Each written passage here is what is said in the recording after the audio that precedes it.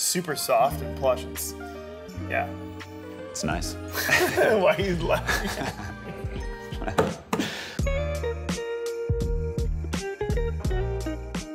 hey guys, I'm Chris, And I'm Sam. and we're back with your Gearheads. Today, we're going to talk to you about our three picks for freestyle, all mountain, and big mountain boots this year. Talking snowboard boots here. Keep an eye out on, on the lower tab there for timestamps if you've got a specific boot you're curious about. And let us know in the comments do you want us to do longer term reviews on any of these boots or get these on the snow this season? Let's dive into it, Sam. First, what are we starting with? Uh, we're going to start off with our freestyle boot. Awesome. This thing is uh, pretty noticeable. Um, brand new for this winter, a Danny Kass Pro model, which is sort of, uh, you know, the last time he was sponsored by Vans was 10 years ago. So welcome back, Danny.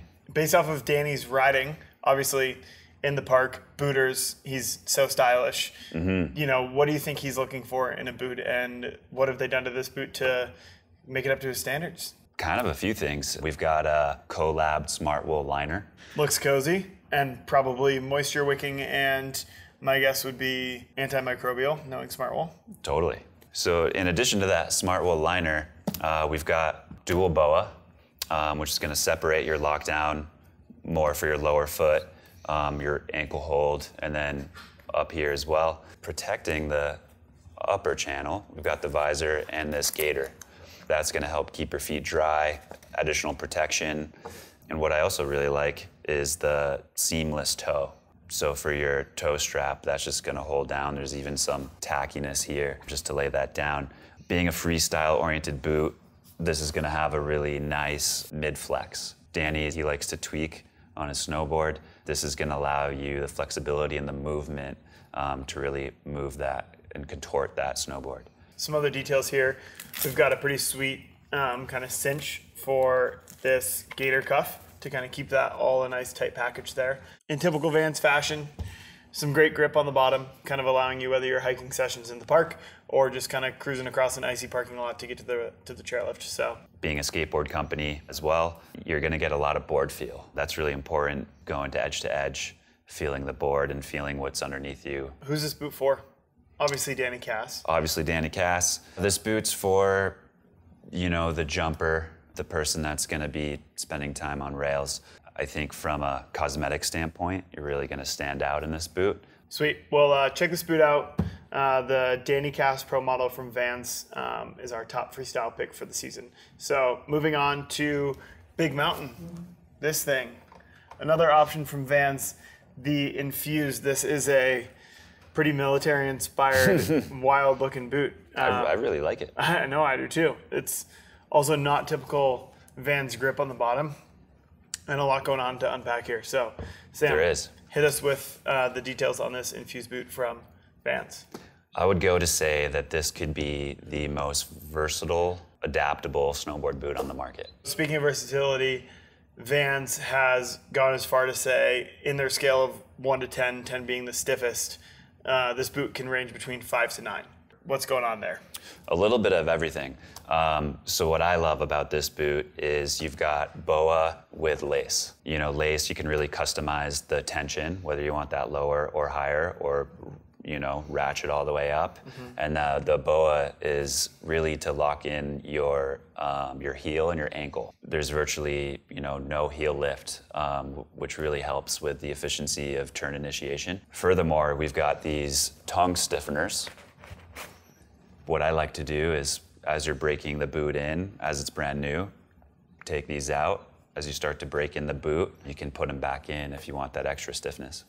And how many stiffness kind of levels do you think those add? Like two, one, two, three? They're they're pretty rigid. Yeah. You know, you can even take one out and leave one in. That's probably how you get to the six. And then the last part is this power strap. Pretty uncommon for snowboard boots, honestly. Yeah, it almost pays homage to boots from back in the day. Yeah. You can really customize the the support by cranking that up or going a little bit looser. Yeah, I would like to give Vans a shout out here. I mean, they've come a long way in their manufacturing of snowboard boots. They just look the fit and finish mm-hmm. is really really clean. They look amazing. They're very durable boots, so definitely recommend this boot for someone that's putting in a lot of days on the slopes and is doing a lot of different styles of riding. Including split boarding. Whether you're hitting the backcountry this season, doing some side country laps, want to soften it up and take these tongues out and do some park laps, or just jibbing around on a sunny bluebird day at the resort without any fresh snow, I mean, this boot seems like it's for you. I guess that kind of covers who this boot's for. Let's move on from Big Mountain, which I would almost classify as kind of our do it all category in terms of this video, Yeah. um, to more of an all mountain pick. Moving on to our lightest option. sure is, right? Yeah, You can feel that. cow. We've got the 32 STW double boa. Give us some details on this offering from 32, our all mountain pick for the year. I mean, I think the the thing that you feel immediately is the weight. Extremely lightweight. I feel like for someone looking to have, whether it's swing weight or just a bit of a lighter setup, also being an all mountain boot that's more of like a mid flex, mm-hmm. you can also maybe go for some touring laps in this thing. And it's a comfortable light option for some touring. What's wonderful about this boot really is the simplicity. Everything works, whether it be the double boa. Another thing that stands out with 32 is that they do their one to one lasting, which is to say, if it's a half size, they don't just put a thicker liner in there. It's actually a half size boot. As you can see here as well, it's kind of that midpoint of traction as well with the base. Not as grippy as the Infuse, which you might be looking to do more big mountain side country mountain op stuff with. Not as minimal as maybe a freestyle boot like the Danny Kass from Vans. You got your heat molded liner and an internal cinch here to kind of maximize that comfort and fit. Who's this boot for? For the rider that doesn't necessarily put themselves in, I'm a park rat, I'm a free rider, this is the boot that, that can do it all. And it's also available in a, a lot of colors. Nice. Looking for a versatile, price friendly, super lightweight all mountain boot for this season? Check out this 32 STW double boa.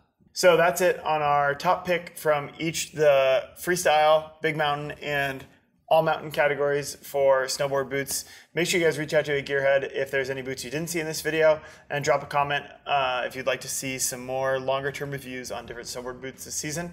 Like, comment, and subscribe because we have oodles of more videos, whether you're a skier, snowboarder, looking to get into the winter sports activities, where we break down skis, boards, boots, Avi safety equipment, and there's an upcoming splitboard video too on the horizon. So thanks, Sam, for joining us today. Thanks for having me. Winter is coming. We'll see you guys out there.